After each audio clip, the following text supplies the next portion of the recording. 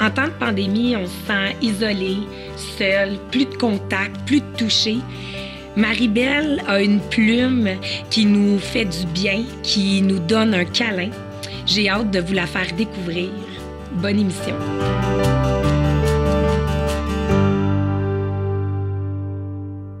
Bonjour Marie-Belle. Salut Chantal. Euh, on s'est côtoyé entre autres euh, parce que euh, tu nous as fait un poème senti, plein d'amour pour le centre prénatal. Et j'ai eu un témoignage. Ah pour me dire de t'inviter à l'émission. J'ai trouvé ça tellement beau.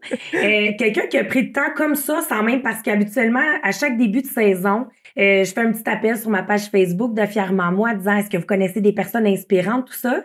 Et pour la septième saison, j'ai comme rien écrit. Puis euh, elle m'a écrit d'elle-même comme ça en me disant je sais pas si tu tournes une septième saison mais tu dois recevoir Marie-Belle qui m'inspire par ses mots puis qui me fait du bien surtout en temps de pandémie tout ça. Donc euh, je suis vraiment contente que tu aies accepté mon invitation. Euh, pour commencer euh, dans le fond c'est que toi tu as étudié en littérature puis ton parcours t'a amené à créer ton entreprise, Maribel Rédaction Création. Est-ce que tu peux me parler un peu, c'est quoi qui t'a attiré d'étudier là-dedans, littérature? Ben, en fait, depuis que je suis petite, j'adore les livres. Hein. Moi, je suis une fille qui vivrait dans une bibliothèque. Puis, quand j'étais petite, ça me permettait de m'évader de ma vie de ma vie qui était quand même ordinaire. Puis j'avais envie de vivre plusieurs vies. Puis lire, ça me permettait d'être une autre personne, de ressentir des choses que peut-être j'aurais pas ressenties. Puis surtout quand on est enfant, on n'a pas une grande expérience de vie. Fait que ça me permettait vraiment de grandir. Puis je savais pas. Quand je lisais, je ne savais pas. Mais avec le recul, là, je m'en rends compte, à quel point c'est merveilleux, à quel point ça peut tellement nous amener de, rêves euh, d'expérience, de, la sagesse, puis même des réflexions. Ton, ton amour de la lecture, est-ce que tu dirais que c'est arrivé très jeune, dans un jeune âge? Quand même, oui. Je dirais surtout que j'ai commencé à lire. Là, euh, oui, je me suis rendu compte que je pouvais aussi ressentir des choses. Puis est-ce que c'est un partage, euh, une valeur familiale? Est-ce que ta mère était une lectrice ou oui, ma mère était une très grande lectrice aussi, puis je pense que c'est puis ma tante aussi qui était sa sœur qui me donnait des livres. Ma grand-mère me donnait des livres, puis elle me signait, elle choisissait vraiment des livres là avec leur cœur, puis elle disait ça tu vas aimer ça, c'est pour toi, on l'a choisi pour toi. Tu sais, c'était vraiment des cadeaux, les plus beaux cadeaux qu'on pouvait me donner quand j'étais petite, c'était ça. Puis surtout quand on le signait, tu sais, c'était tellement donné avec amour là. Fait que euh, oui, je pense que c'est familial, puis de le transmettre à mes enfants quand ils étaient bébés, je lisais beaucoup avec eux, euh, on riait, euh, on explorait des choses. Puis maintenant, ben, mes enfants sont moins lecteurs, mais par contre, ils ont eu cette expérience-là, puis ils savent exactement ce qu'on peut vivre. Puis moi, je leur laisse la liberté de, si t'as pas trop envie de lire, ben t'as d'autres choses, explore. Puis c'est bien, bien comme ça aussi. Est-ce que tu étais un enfant timide? Tu, sais, tu disais que euh, le livre te permettait de voyager, d'être une autre personne. Est-ce que tu hmm. dirais que euh, tu étais plus timide, puis c'était avec la lecture que tu pouvais justement là, euh, t'épanouir? Ben, je pense que d'une certaine façon, oui. Puis d'un autre côté, non. C'est ça qui est bizarre. Des fois, je me sentais très réservée, puis j'avais besoin de ma bulle. Fait que je ne je peux pas dire que c'était tant de la timidité. Peut-être plus réservée que timide. Puis ça, ça me permettait vraiment de, de, de vivre tout ce que j'avais envie de vivre. Puis tandis que, euh, ouais, c'est ça. C'est plus. Euh, puis après ça, bon, tu as décidé là, de vraiment là, faire ton parcours en littérature. Est-ce que tu peux me parler après ton cheminement, après l'école? Qu'est-ce qui arrive? Qu'est-ce que tu as le goût de faire? Après l'école, j'ai ben, j'ai travaillé pour de la lecture et l'écriture, une clinique pour aider les enfants qui ont de la difficulté à lire et à écrire. Je me suis dit, je, vais, je vais commencer à la racine de ces enfants-là qui ont vraiment euh, l'envie quand même, mais qui perdent cette envie-là parce que justement, ils doivent surmonter cette difficulté-là. Puis c'est tellement merveilleux les livres, puis je suis tellement passionnée que je vais aller vers ça. Leur donner la magie. Leur donner la magie, puis tu sais, ça se transmet hein, quand on on, vibre, là, les, jeunes, ils sentent, puis ils se disent Waouh, il y a quelque chose, moi aussi, je veux. Puis ça, la motivation est un petit peu plus grande quand même. Puis dans ce chapeau-là, c'est quoi qui t'a le plus surpris, qui t'a le, que, que t'as appris de, ce chapeau-là par, rapport à comment transmettre cette passion-là, garder leur motivation malgré leurs lacunes? Ça, ça, c'est quoi que tu as. Qu'est-ce que j'ai appris? Ben, c'est que chaque enfant a des désirs différents au niveau de la lecture, admire ou vit des émotions, mais selon différents types de, de livres. Puis même des enfants qui ont des grandes difficultés des fois, puis ça, ça m'a vraiment surpris. Ils ont le goût de lire des gros livres, là. Tu sais, les livres de Brian Perrault, là, je me souviens plus des titres, mais ça, là... C'est des briques oui, c'est gros, là. Puis euh, il y en avait des enfants qui m'arrivaient avec ça, puis ils y arrivaient, là. Tu sais, puis on surmontait les, vraiment les défis ensemble, puis c'était de voir leur fierté, là. C'était, ça valait tout l'or du monde. C'est ça, c'est la plus belle paye, tu sais. Souvent qu'on dit quand on voit qu'on a transmis quelque chose. Mm. Après ce volet-là, mm. ça t'a amené à voyager où? Eh là là, tu vas remonter. ben, j'ai été tutrice de, de français langue seconde aussi dans les comme ça. Que toujours. Euh, Oui, beaucoup j'aime ça transmettre, transmettre, euh, être en contact avec la jeunesse, leur donner des outils, leur donner peut-être leur, semer des graines pour euh, peut-être éveiller une passion ou un intérêt ou leur montrer que que l'amour du livre, l'amour de, de lire, l'amour d'écrire aussi. C'est devenu où ton ton inspiration de devenir vraiment, là, de, de bâtir ton entreprise? C'est où ah. qu'il y a eu le déclic de dire, OK, je. Ben, j'ai eu mes enfants, puis là, je travaillais les soirs dans, quand j'aidais d'autres enfants. Puis là, je me suis dit, quand mes enfants commençaient l'école, ben là, je vois plus beaucoup. Tu sais, je veux voir mes enfants, je veux les aider euh, dans leurs devoirs, je veux passer du temps avec eux. Qu'est-ce que je peux faire? Euh, je réfléchissais, je, regardais un petit peu qu'est-ce qui, qu'est-ce qui était possible. Puis à un moment donné, j'ai une amie qui est graphiste dans la région et elle avait sa business. Puis on, on faisait du bénévolat ensemble, on faisait le trotibus, puis on parlait de toutes sortes de choses. Puis elle me dit, je cherche une graphiste. Ben, j'ai dit, ah, c'est plate, je suis pas graphiste.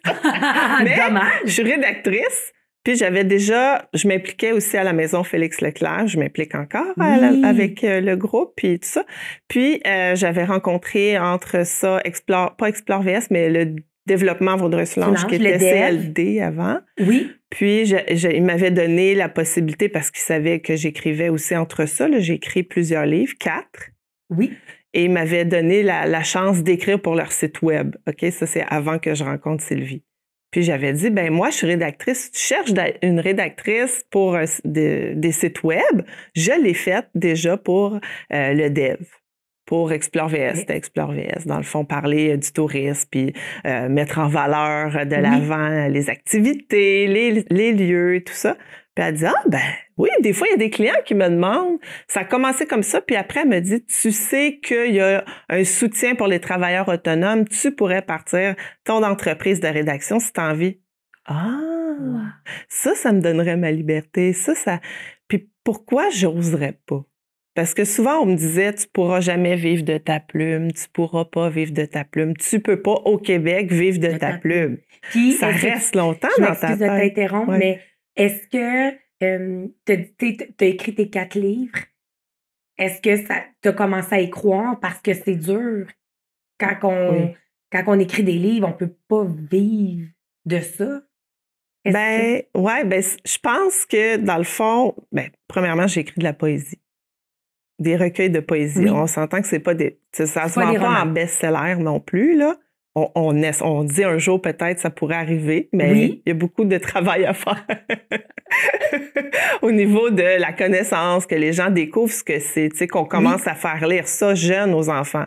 Mais encore faut-il que les professeurs aient ce feu-là intérieur, aient cette compréhension ou juste cette ouverture, je pense. Oui. Plus une ouverture de la poésie parce que pour moi, c'est merveilleux. Hein. Pour moi, c'est vraiment un univers là, complètement imaginaire, complètement. Tu sais, on, on va au-delà, puis ça fait tellement du bien. Tu sais, juste quand on se laisse aller, puis on fait confiance dans cette lecture. Juste ça. Puis souvent, c'est drôle parce que je donne des ateliers de poésie dans les écoles aussi. Puis je dis euh, aux, enfants, puis je suis sûre que les professeurs aussi, ça, ça leur fait comprendre certaines choses, mais je dis, quand vous prenez un livre pour la première fois, un roman, par exemple, ou une bande dessinée, ça se peut que vous l'aimiez pas tant que ça. Peut-être que ça vous intéresse pas qu'est-ce qui est écrit. Puis vous le mettez de côté, mais vous allez chercher une autre bande dessinée ou un autre roman. Puis vous lisez. peut-être que celui-là, ben, il est pas. Puis là, à un moment donné, vous tombez sur un roman vraiment, là. Puis là, vous voulez lire tous les romans de cet auteur-là. Ben, c'est la même chose pour la poésie. Il faut explorer. Puis souvent, la poésie qu'on nous enseigne dans les écoles, c'est de la vieille poésie. Je ne dis pas qu'elle n'est pas bonne, au contraire, elle est extraordinaire. Mais il faut une maturité pour arriver à comprendre. Ben, c'est, oui, parce que c'est pas nécessairement notre époque non plus. Euh, il y a tellement, la, poésie contemporaine, il n'y a plus de rimes non plus. Tu sais, il y a il y a beaucoup maintenant de la poésie en prose qui ressemble à la poésie écrite comme un roman. C'est de la prose. La prose, c'est ça. Un roman, c'est de la prose. La poésie, c'est autre chose. Mais de la poésie en prose, maintenant, ça existe. Tu sais, il y, a beaucoup de choix, mais on le sait pas. On le sait pas. c'est vrai. C'est vraiment vrai. Fait que là, les gens te disaient, tu peux pas vivre de ta plume. Puis là, tu avais quelqu'un qui disait, oui, tu peux, puis on peut même t'aider. Oui, le dev d'ailleurs, qui sont vraiment, c'est des personnes extraordinaires qui m'ont appuyé dans mon projet, qui euh, m'ont donné, tu sais, vraiment le, pas la, ben oui, la motivation, mais aussi, tu sais, j'ai de la croyance, puis de la, force, puis la euh, confiance, de la confiance. Merci, je cherchais le mot. puis, mais non seulement ils t'ont donné la confiance, mais ils l'avaient eux aussi parce que tu travaillais pour eux. Fait c'était comme un, un, partage. Hein? Euh, puis là, tu as décidé de partir ton entreprise. Puis dis-moi comment, comment ça s'est passé? Extraordinaire, vraiment. Je peux pas demander mieux que ce parcours que j'ai eu. je veux dire, dans les premiers réseautages que j'ai faits, c'était en décembre 2016. Oui. Et j'ai rencontré une photographe qui s'appelle Julie Dessureau de Roseau Photographie. Puis, euh, tu sais, on se lève, on se dit, OK, je vais aller dans un réseautage. On sait jamais qui on va rencontrer. On se dit, tu sais, on va faire des échanges, on va parler de toutes sortes de choses. D'habitude, c'est assez banal, tu sais, puis c'est quand même le fun aussi de découvrir d'autres entreprises. Mais tu sais, c'est on reste toujours comme dans un cadre plus sérieux, tu sais, c'est professionnel. Moins senti. Oui, c'est ça, moi, tu sais, c'est ça, moins senti. Puis cette femme-là, elle vibrait vraiment à la même fréquence que moi, puis elle me parle, moi j'ai un projet, j'aimerais ça prendre des, faire des photos, puis je suis en train de, de le partir, ce projet-là, de, de survivante du cancer. Là, ça me rentre dedans. Ça me rentre dedans parce que mon père souffre d'un cancer, puis il est en fin de vie, tu sais, il a un cancer généralisé. Oh. Moi, j'ai perdu vraiment, là, du côté de mon père, beaucoup d'oncles et de tantes, et la même chose du côté de ma mère. Il reste une seule tante du côté de ma mère, puis un seul oncle. Puis c'était quand même des familles de 4-5. Oh. Oui, mes parents sont décédés les deux. Fait que, tu sais, quand elle me dit ça, ouais, ça vient me chercher. C'est totalement aligné. Je dis, oh, moi, je partais en affaires, mais je pensais pas que je pouvais contribuer comme dans ce sens-là. Fait que là, je dis, puis elle dit, moi, je cherchais aussi quelqu'un pour euh, écrire des textes inspirés de ces femmes-là. Je fais OK, wow, j'embarque. je me questionne pas, tu sais, j'ai des frissons en t'en parlant. Oui, mais moi, moi j'en ai juste à t'entendre. Fait que j'embarque, puis je dis, on va faire ça plus gros. Parce que moi, je suis une fille qui a beaucoup d'ambition, je fais ça, j'ai pas peur, puis je veux que ça touche, tu sais, je veux que ça vraiment allait impacter la communauté, puis si on est capable au Québec, tu sais. Oui. Je voyais grand. Puis j'ai dit, je vais, on va trouver une porte-parole. en tout cas. Wow! Puis Joanne Fontaine a accepté. Oui. C'était quelque chose, là. Mais c'était vraiment... J'avais écrit une lettre, là, tu sais, avec mon cœur, puis qu'est-ce que tu m'inspires, puis euh, comment on voit ça, puis elle dit oh, wow, elle m'a réécrit, elle dit oui. Je peux pas dire non. non Puis vraiment cette femme-là, incroyable. J'ai jamais connu une humaine comme Joanne Fontaine jamais connu une humaine aussi euh, dévouée, aussi, euh, euh, je dirais, incroyable. Tu sais, je veux dire, était, était tellement inspirante. Comment elle pouvait... Authentique. Hein? Authentique, puis elle avait beaucoup de souffrance dans les, derniers, dans les derniers temps. Là. Oui, juste avant de décéder. Ben oui, puis même les derniers mois. OK. Ça paraissait pas parce qu'elle était très, euh, tu sais, elle voulait tellement comme, oui, encore, tu sais, pouvoir partager de l'espoir, puis, oh mon Dieu, là, nous on l'a vu là vraiment souffrir à côté de, avant les séances photo, Puis là, quand c'était le temps de prendre la photo, elle était capable, puis elle brillait. Puis après ça, elle allait se recoucher sur, le fauteuil. Puis je me disais, mais, mais Joanne, t'es-tu certaine que tu veux? Oui, c'est pour les autres femmes, puis pour les, gens qui en souffrent, puis euh, on va leur redonner d'espoir. Tu sais, c'est quelque chose quand même. C'est le don de soi. Le don de soi total, là. Oui. Total. Est-ce que vous avez pensé peut-être le refaire, ce projet-là?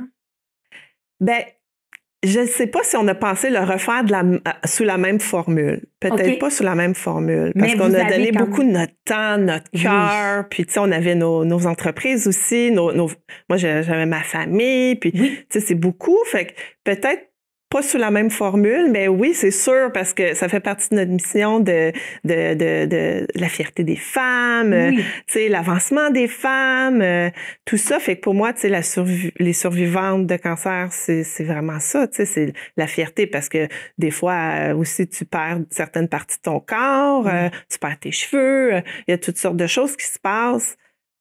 oui, je pense que c'est sûr que ça, c'est... Tu te rattaches à ton âme, là. Oui. Parce que c'est ah, ça change ta vie. Là. Tu te dis, OK, wow, la vie était, était précieuse, mais je m'en rendais pas compte. Il y a même une femme qui allait avoir 40 ans, une de nos candidates, puis j'ai dit, comment tu te sens? Parce que j'avais pas 40 ans à l'époque. Puis j'ai dit, comment tu te sens d'avoir ton 40 ans? Elle dit, tu sais, puis moi, je voyais comme, oh mon Dieu, c'est gros avoir 40 ans, mais j'allais avoir 40 ans dans les, les prochaines années, tu sais. puis je me disais, tu sais, comment elle, elle peut sentir? Puis elle dit, moi, là, je je suis tellement heureuse d'avoir 40 ans. C'est un, honneur parce que je suis vivante. J'ai fait, on devrait toutes penser comme ça. À chaque fois qu'on vieillit, oui, on devrait toutes comme juste s'ancrer sur Hey, je suis vivante, je suis en santé, j'ai ma famille. Tu sais, toutes ces belles choses-là qu'on a encore la chance. C'est vrai. Mais sans savoir, là, je vais me dire ça cet été. À mes 40 ans, j'avais un peu le, vertige, mais c'est vrai, en fait. Je suis en santé, je suis en vie. Faut, faut qu'on ait cette fierté-là, en fait. Puis après ça, euh, ça, ça a été un gros projet. Puis en plus, euh, démarrer une entreprise, c'est comme, moi, je compare souvent ça à accoucher d'un nouveau bébé. Parce que c'est énormément d'heures, des nuits blanches, des inquiétudes, des. Mais tu as eu un magnifique parcours qui, qui continue toujours, puis qui, qui, grandit même. Parce qu'il y a beaucoup d'entreprises aussi euh, qui te demandent d'écrire pour eux. Comme nous, pour le centre, c'était vraiment pour euh, les jeunes familles, pour euh, parler mm. de l'importance des tout-petits. Tu as écrit un magnifique poème. Comment tu fais pour t'inspirer? Ça vient d'où? Est-ce que tu, est-ce que vraiment, euh, est-ce que ça t'est arrivé de dire, ah, là, ça, ce sujet-là, ça vient pas me chercher, on dirait, j'y arrive pas, ou tu arrives à te transporter euh, dans chaque. Euh, ben, en fait, quand j'écris pour les entreprises, c'est sûr que c'est pas nécessairement des poèmes, on s'entend. Souvent, c'est des bios, je vais parler des services, mais c'est toujours avec beaucoup d'humanité. Hein. Toujours pour faire la connexion, pour à qui qu'on s'adresse et tout ça. Fait comment je fais? Ben, souvent, ben, c'est des sujets humains. Hein. Les personnes qui viennent me demander de l'aide, souvent, les entreprises, c'est soit du coaching ou des designers, qui c'est très créatif sais, c'est vraiment des entreprises de connexion humaine. Donc, c'est sûr que je vais parler avec la, avec la, la femme qui est devant moi. Tu sais, on, moi, je connecte beaucoup. Euh, on, on, va aligner ses bases. C'est quoi tes valeurs, ta mission, ta vision? J'écris jamais pour une personne si ça, c'est pas fait parce que c'est tellement le départ de tout. Tu sais, faut que tu saches qu'est-ce que tu veux. Faut que tu saches où tu t'en vas. Faut que tu saches qu'est-ce que tu as envie de partager dans ton histoire. Fait que Ensuite, là, j'ai l'inspiration nécessaire. Là, j'ai le matériel nécessaire pour écrire pour ces, ces, ces entreprises-là, mais surtout pour ces femmes-là, euh, entrepreneurs ou euh, femmes d'affaires. Est-ce que tu as comme une, euh, un horaire type?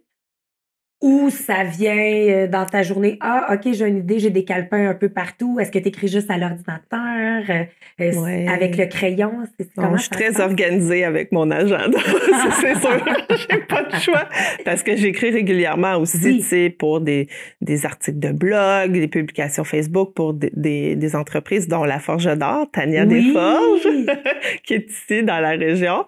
Donc, tu sais, c'est super important que je sois organisée parce a des choses qui reviennent régulièrement j'ai des espaces aussi pour faire des, des appels découvertes. J'ai des espaces pour écrire pour mes manuscrits parce que je continue d'écrire pour publier des, des, peut-être même un roman qui pourrait s'en venir, tu sais, quand même. Là. fait que tu es très organisée. Est-ce que tu écris encore papier-crayon? Oui, euh, j'ai encore ça. C'est sûr que je travaille beaucoup à l'ordinateur parce que je trouve que ça va. La rapidité est là, mais mes carnets, tu sais, sentir mes carnets, c'est prendre des notes, des idées, tout ça. Euh, j'ai vraiment, pour moi, ça, c'est comme des, je dirais, ouais, des bijoux. c'est sûr que la pandémie, ça a eu un impact bon, sur les entreprises, tu es, euh, entouré de femmes entrepreneurs et tout ça. Euh, mm-hmm. Il y en a que ça a été profitable, mais il y en a beaucoup que ça a été difficile. Euh, puis c'est sûr que ta plume aide à mm-hmm. se remettre de l'avant, hein, à refaire parler des entreprises, tout ça. Est-ce qu'il est arrivé un moment où est-ce que toi-même, en tant que femme, qui avait une entreprise, des enfants et tout ça, que tu as eu de la misère, que tu as eu la, page blanche ou. Euh? Je te dirais que les deux premières semaines que la pandémie est entrée ici, oui. j'ai senti que tout était arrêté, que tout le monde était en position de qu'est-ce qui se passe, qu'est-ce qu'on va faire. Fait là, oui. Là, j'ai eu vraiment comme aussi, j'étais comme un peu dans le, j'avais le vertige, un peu. Puis ensuite, ça a reparti assez rapidement parce que, tu sais, je travaille en ligne, puis c'est pour justement se mettre de l'avant en ligne. Fait que ça n'a pas été long. Puis, ben, j'étais toujours inspirée. Puis je pense que ce qui m'a aidé, c'était justement d'être embarquée dans une communauté où toutes les femmes s'entraident, des femmes d'affaires. En ligne aussi. Fait qu'on était, on sent, moi, je me suis pas sentie toute seule là-dedans. Puis, tu sais, il y en avait des filles qui avaient des gyms. Ils, ils, partageaient leurs leur, euh, défis, là. C'était vraiment pas évident, là. Puis nous autres, on était là, là. T'as-tu besoin de quelque chose? Ah. Tu sais, euh, comment on peut t'aider? Euh, on les motivait, on, l'envoie, on peut envoyer des messages, on peut... Tu sais, elle n'est pas toute seule. Fait que déjà, ça, c'est... Ça fait ben oui, ben oui. Puis euh, on est beaucoup des mères aussi, tu sais, je veux dire, euh, avec soit des jeunes enfants ou des ados. Euh, fait que, tu sais, c'est, on connaît notre réalité. On, vit toutes un peu les mêmes choses, les mêmes défis. Fait que ça, là, pour vrai, là, je pense que ça a sauvé beaucoup de, d'entrepreneurs. D'avoir une communauté, d'avoir, tu sais, qu'on n'avait pas besoin de se voir en vrai. On pouvait se voir, se connecter en Zoom, puis, tu sais, ça continue, là. Lâchez pas les filles, ça continue. Ah, OK, oui. OK, c'est ça. ça. donnait comme l'énergie de dire, OK, là, je suis pas tout seul. Vraiment, oui. Je peux passer au travail. Puis de savoir que moi, je pouvais continuer de contribuer avec mes mots, tu sais. Puis si tu as besoin de te réaligner, parce que là, ta réalité, c'est plus la même, puis là, il faut que tu trouves d'autres façons de faire ou d'être, ben viens me voir parce que on va réfléchir ensemble parce que je fais ça aussi, tu sais, je prends vraiment le temps de guider là-dessus, tu sais. Peut-être que j'ai pas 50 ans d'expérience en business, mais je pense que 5 ans, c'est déjà pas pire. Puis vu que je suis toujours en formation continue, puis on voit plein d'experts, Daniel Henkel, Serge Beauchemin, euh, tu sais, toutes ces personnes-là, nous, on a accès à, à leur connaissance d'une certaine façon, peut-être pas en profondeur, mais quand même. Mais quand même. Ça aide beaucoup euh, plus. Est-ce que tu peux me parler de ce oui, ce réseau. Oui. le réseau, c'est les paillettes. Oui. Et puis, c'est la, la, la, paillette en chef, c'est Mélissa Normandin-Roberge, qui, elle, avait une entreprise avant d'être euh, euh, chef des paillettes, si on peut dire, mais elle avait les maestros. Puis elle s'occupait des jeunes musiciens, des jeunes qui voulaient chanter, danser ou jouer de la musique.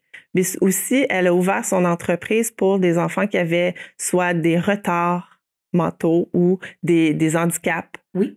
Fait que, tu sais, c'était vraiment, elle elle a elle avait une grosse entreprise de, musique à Shawinigan, puis elle, c'était une femme humaine, justement, connectée avec ces enfants-là pour leur donner la possibilité de se réaliser puis de se rendre compte que c'est pas parce que tu as un handicap ou un retard que tu peux pas être un artiste, que tu peux pas avoir du plaisir à créer, moi, je suis là pour te dire que tu es capable. C'est ça. Puis elle est incroyable. Là. Écoute, elle, a fait venir des artistes sur la scène, des, des artistes connus, des vedettes qu'on appelle ici au Québec. Mais tu sais, les jeunes étaient tellement heureux, tu sais, ils faisaient connaissance avec euh, avec ces artistes-là. Puis à un moment donné, ben, elle, avait envie de, d'explorer autre chose. Puis elle s'est dit, qu'est-ce que je pourrais faire? Puis c'est là Ouais, elle a contribué, elle a commencé à ouvrir euh, cet univers-là, qui était au début assez simple, assez pas si grand que, que maintenant, tu sais. Puis, il y a des filles qui ont adhéré à ça, à cette philosophie de l'entraide des femmes mettre de l'avant les femmes, on se soutient. Puis de plus en plus, elle fait venir des experts, tu sais, c'est, grandiose quand même. C'est ça, ça grossit, puis elle a, elle a réemployé même des jeunes maestros dans son équipe. Oui, c'est quand même. Là. Puis elle remet de l'avant un de ces jeunes maestros qui, justement, euh, c'est un jeune sûrement qui a un, handicap. Puis écoute, il est tellement à l'aise, il est drôle, il est le fun, tu sais, puis elle le met de l'avant encore. C'est quand même. Moi, en tout cas, je trouve ça. Euh, je suis bien contente d'être euh, d'être une paillette, puis je suis très fière de ça. je, moi, en tout cas, je t'ai lu plus sur Facebook. Puis je dois dire qu'en temps de pandémie, surtout quand on est isolé, mm. euh, c'est les écritures. Ça faisait du bien, c'était un baume de pouvoir te lire, tout ça. Euh, qu'est-ce que je peux te souhaiter à toi, la femme, Marie-Belle? Qu'est-ce que je peux mm. te souhaiter en terminant? Ben, écoute, moi, j'incarne de plus en plus la poète que je suis. Je me dis, je vais aller encore plus dans les écoles pour donner cette, pour montrer un peu ce que c'est la poésie. Fait je te dirais, ce que j'aimerais que tu me souhaites, que tu souhaites aussi au Québec, c'est d'avoir, de découvrir l'univers merveilleux de la poésie, de découvrir toutes les belles possibilités que la poésie offre à l'être humain. Je pense vraiment qu'il y a quelque chose de très précieux, puis peut-être même que la pandémie va nous permettre de se tourner vers ça. La poésie. Oui. Merci beaucoup, Marie-Belle, parce que tes écritures, c'est comme un immense câlin. Donc, euh, je te souhaite bonne chance, puis je suis convaincue que d'ici peu, ça va arriver. Merci.